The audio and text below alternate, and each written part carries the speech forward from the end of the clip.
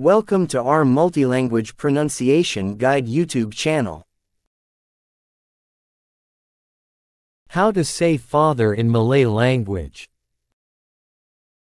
How to say father in Malay language. Bapa. Bapa. Try to pronounce the word. Bapa. Repeat the word. Bapa.